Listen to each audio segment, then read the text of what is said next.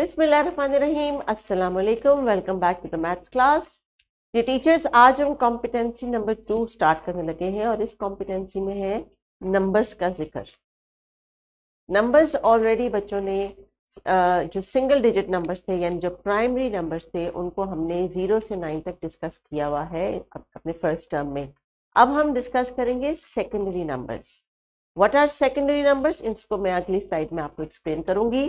हमारे पास जो एक्सपेक्टेड लर्निंग आउटकम है करिकुलम में, वो ये एक्सपेक्ट कर रहा है हमसे कि children will develop basic understanding of quantity counting up to 50 and simple number operations of 0 to 9 use numbers to represent quantities in daily life interaction, यानी रोज़मर्रा अपनी ज़िंदगी में जिस तरह वो नंबर्स का इस्तेमाल बोलने में करते हैं, उनको अब कॉन्शियसली वो क्वांटिटीज के कॉन्टेक्स्ट में करेंगे। Identify and write. Correct numerals to represent numbers from 0 to 50. ये पूरा माइलस्टोन है जो उन्होंने प्री स्कूल में अचीव करना है। इसलिए इसको हमने दो तीन कैटेगरीज में डिवाइड किया है और उनको हमने कैटेगरी वन में यानी प्राइमरी नंबर्स में ऑलरेडी हम डिस्कस कर चुके हैं।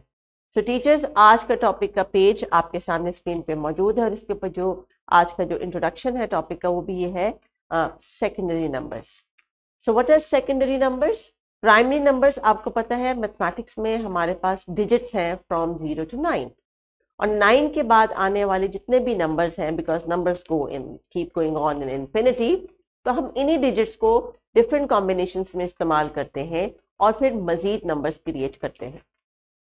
इसलिए ज़ीरो से नाइन तक की जितनी भी आइडेंटिफिकेशन थी, वो हमने फ़र्स्ट टर्म में रखी ताकि बच्चों को पहले समझ आ जाए कि किस डिजिट को कितनी क्वांटिटी के साथ हमने बैलेंस करना है। अब हम चल रहे हैं चूँकि डबल डिजिट की तरफ़ तो इट्स अ सेकेंडरी नंबर और डबल डिजिट में हम टेन की बात करेंगे और आपको पता है कि टेन में हमने बच्चों को ये कॉन्सेप्ट देना है कि one there is one and then is zero and zero means nothing तो उसको कॉम्प्रीहेंड कैसे करना है अपने माइंड में? इस चीज़ की आज हम इनके साथ अंडरस्टैंडिंग बिल्टअप कर रहे हैं। सो so, आज का टास्क ये है Count how many fingers in your hands can you see? Read loudly and color the pictures. Or the topic is introduction of secondary numbers.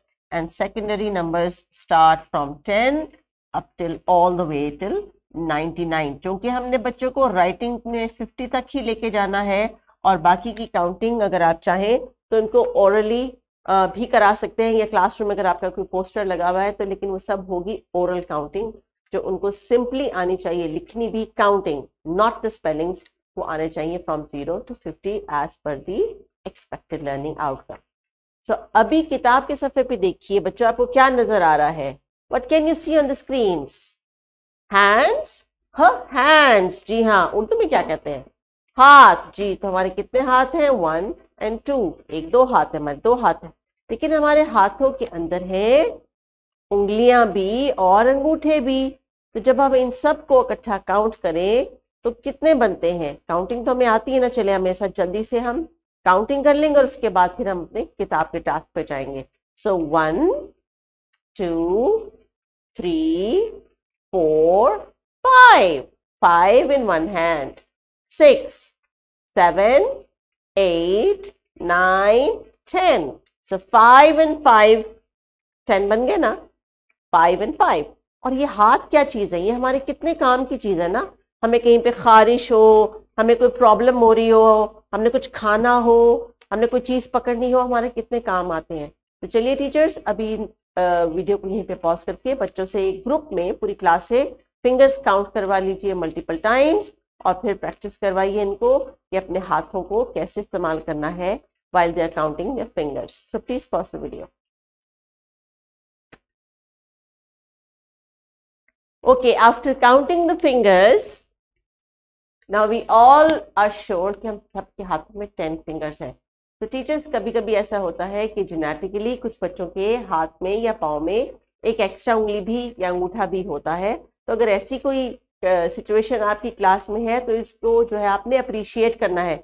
उस बच्चे को इनकरेज करना है मोटिवेट करना है कि ओ my god you are so lucky you have an extra one कभी भी ऐसी छोटी छोटी चीज़ें, ऐसे ऐसे डिफरेंसेस को हाईलाइट करके बच्चों को बुली होने से बचाएँ आप क्लासरूम में, इस चीज़ को अप्रिशिएट करें when the children can count ten that particular child can count may be eleven और वाइस वर्षा अगर किसी खुदा न खास्ता वजह से किसी बच्चे की उंगलियों में कोई डिफेक्ट है या कुछ इशू हुआ है तो आप उसको भी बच्चों को पॉजिटिवली उसके साथ डिस्कस करें इस चीज़ को और बाकी बच्चों से उसको बुलिंग के लिए से बचाएँ और उस बच्चे का सेल्फ कॉन्फिडेंस बिल्टअप करें।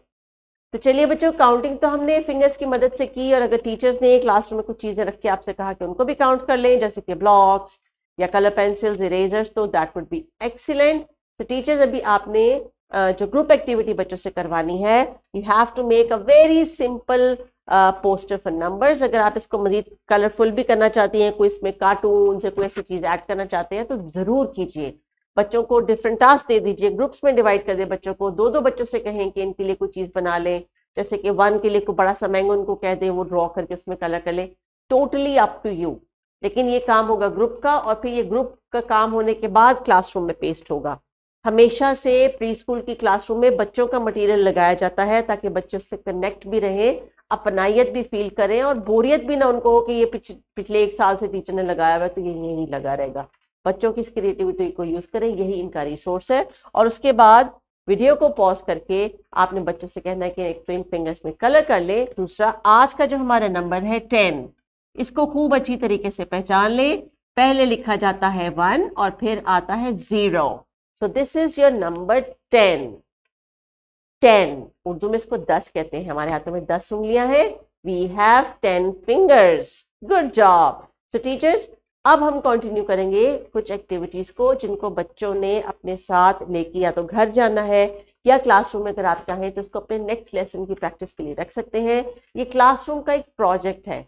आप जब इन प्रोजेक्ट्स को कंप्लीट करेंगे तो by the end of the numbers आप कोई प्रोजेक्ट डिस्प्ले डे रख सकते हैं जिसमें ग्रुप्स में बच्चों से एक्टिविटी करवा लें। This is an interesting activity आप बच्चों के हैंड्स के कटआउट आपने बनाने हैं। अगर आप इंडिविजुअल बच्चों के लिए कर सकती हैं तो गुड नहीं तो कम से कम आप दो बच्चों के, दो फ्रेंड्स के एक एक हाथ को आप लेके इस किस्म की एक्टिविटी क्रिएट कर सकते हैं। This is a class project so by the end of this term बच्चों के पास टेन से लेके ट्वेंटी तक के जितने भी प्रोजेक्ट्स होंगे, उनको आप एक दिन डिस्प्ले करके पेरेंट्स को भी बुला सकते हैं और शो कर सकते हैं कि बच्चों ने डबल डिजिट नंबर्स को, यानी सेकेंडरी नंबर्स को अंडरस्टैंड करने के लिए कितनी सारी डिफरेंट एक्टिविटीज़ की हैं।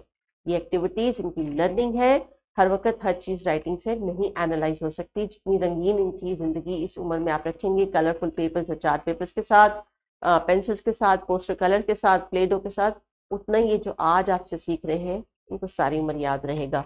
यही हमारा एक्सपेक्टेड लर्निंग आउटकम्स है। इन्हीं को अचीव करने के लिए हम प्रैक्टिस कर रहे हैं एक्टिविटीज़ को मैं सोच के लेके आती हूँ, किताब की सपोर्ट भी हम लेते हैं और फिर एक्स्ट्रा वर्कशीट जो डिस्क्रिप्शन बॉक्स में दी गई है, वो भी आपको प्रोवाइड की गई है कि आपको आइडिया हो कि ये एक्टिविटी इसी हद तक और इतनी ही से करवानी है। सो कंटिन्यू कीजिए एक्टिविटी को take your time enjoy and have fun अल्लाह हाफिज़।